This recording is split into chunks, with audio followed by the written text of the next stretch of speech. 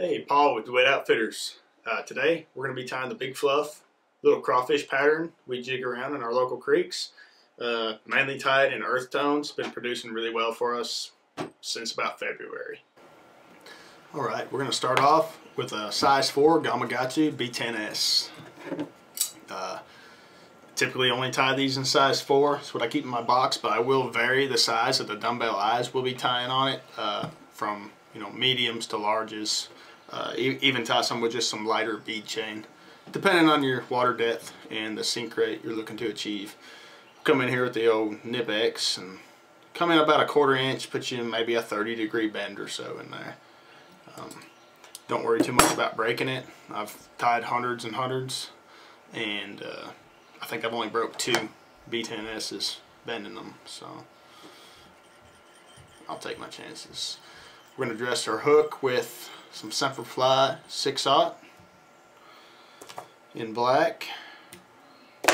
Not real crucial on color. I try to keep the fly mostly earth tones and you can kind of tie it in with whatever you want. We're going to want to tie uh, part way down this hook shank because a lot of our material we're going to run down the hook shank a little bit to kind of keep it in that crawfish fight stance uh, sort of way. We are going to start out with some strung marabou. Just going to select a, a good piece here. Alright, we're going to go with a brown. And I'm going to do this about a shank and a half in length because this will be tied down the bend of the hook and that'll eat up some of your length.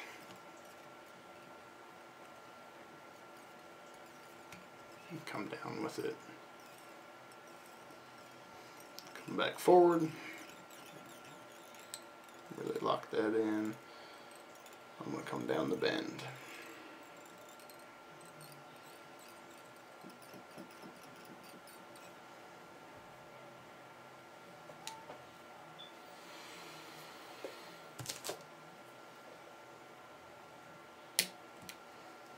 Clip that out of the way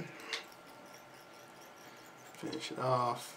And I'm going to lay a thread base down to the hook eye. go ahead, tie in your dumbbell eyes. We're going to go with just a plain lead in a large for this one. Come in, lock these guys in, do a little figure eight.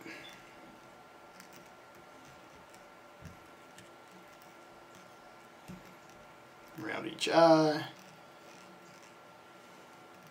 And then around the base. Make sure everything's pretty straight.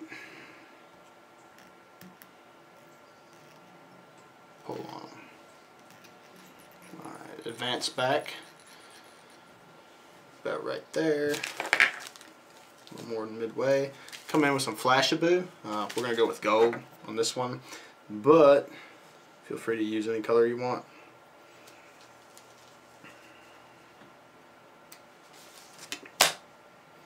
take two strands and you're gonna put them in kind of like you do rubber legs. Uh, I'll come in, I'm gonna set them just on the top, lock them in. Make sure you have them split apart. So essentially it's two on running down each side and run those right up to where you stopped with your marabou. Lock them in. Alright. Now we're going to advance our thread right up to the end, right there to that section, right up to the marabou and your flash. We're going to make a dubbing ball, something for the for the claws to splay out on. We're going to go with uh, Hare's Ice Dub and Tan. You can use regular Ice Dub. This just builds up a pretty pretty good dubbing ball. It's a little more dense with the rabbit in it. Got to be neat about this. dub up the thread pretty thick. And where you're just going to stack this completely on top of itself. Come in here, wrap, pull the back. I'm gonna go even a little bit heavier on it. We'll add a little more.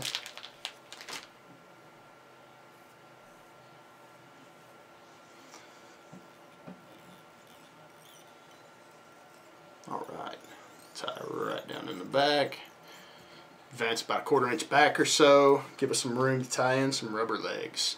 We're going with the perfectly barred in amber uh, Sili Legs.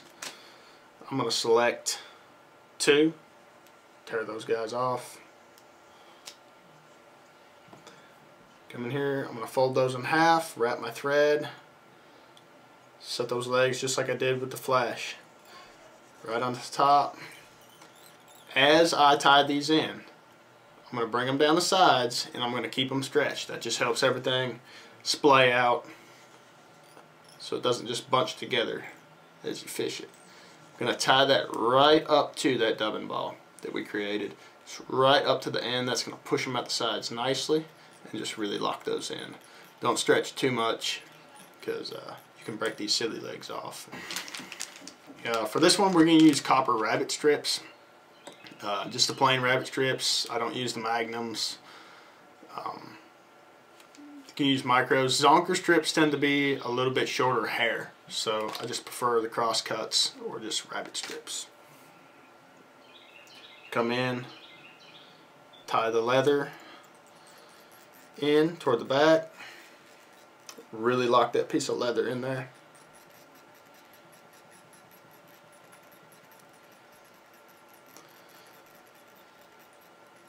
We're going to be pulling on it pretty good when we start palmering, so we want to make sure Alright, bring your thread back down right to your eyes. We're going to come around, we're going to palmer this rabbit strip. As we palmer, we're going to want to wrap that halfway back over itself the whole way. It's going to help build the bulk, build the pro profile, and keep all those fibers pushed back.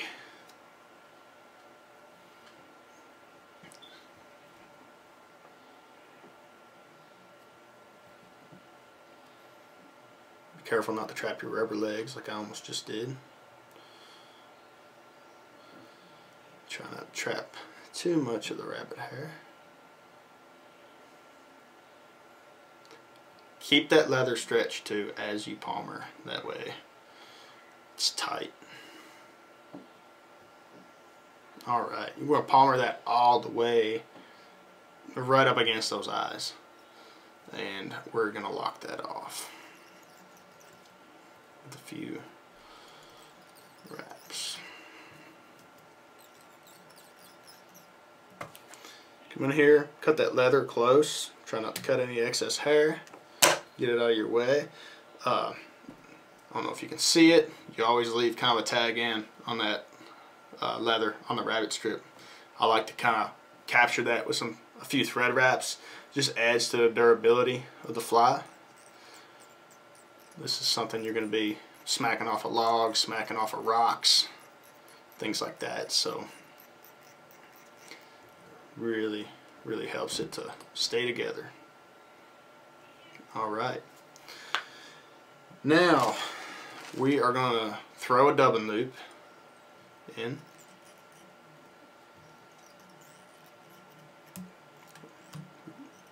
Right there at the back. Throw a dubbing loop tool in. This dubbing that we're going to use, I found in a discount bin at our local fly shop. I believe it's a Nature Spirit Peacock, but it has some, you know, some UV properties to it. I've been using it. I've got several packs. Probably be really sad when I run out of it and I can't find it because I haven't seen it anywhere else. But we're going to select a good little chunk of this stuff, about like so. We're going to stack it those ends lined up for the most part so that it all doesn't pull out when we brush out our dubbing loop. Bear too much, then not enough. Stick that in your loop and we'll spread this out. It can be fairly sparse.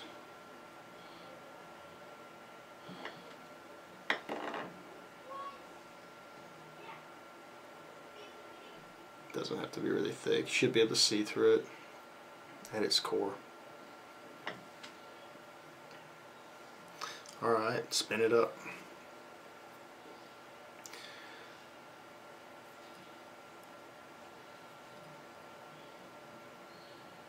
Be sure you get plenty of spins on it.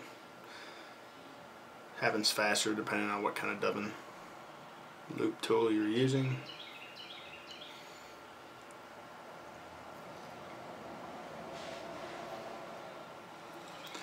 Make sure you spin it well though because our next step here, take a wire brush we're going to brush that dubbing loop out to bring those fibers out and if you haven't spun it enough you'll lose a lot of fibers here. You have a bunch of gaps in your loop. Alright, uh, we're going to palmer this. I'm not going to use the rotary function guess it's easier to see that way. And we're gonna just really stack that up right there at the back behind those eyes. And once we get to our bare thread, we'll bring that to the front, wrap around our hook eye a little bit, and we'll finish everything right there at the hook eye, at the front of the eyes. Come in here, clip our loop out, after we trapped it. Throw us some whip finishes.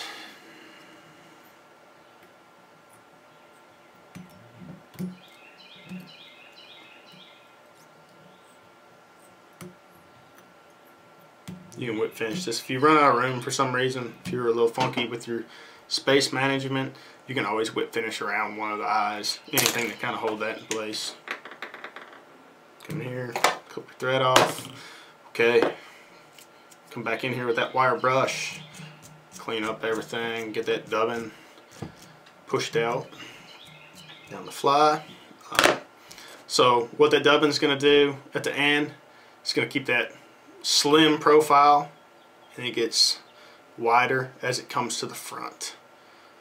Uh, kind of builds that tapered crawfish profile. I'm going to come in here with some UV just to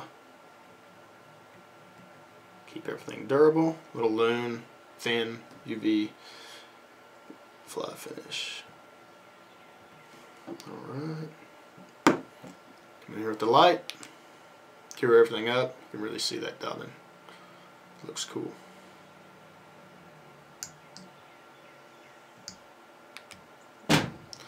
Alright.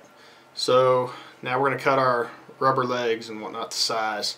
We have to be careful when we do this that we don't stretch when we cut. If we stretch, we're going to wind up with legs that are way back here. So we want them to be pretty well past this marabou.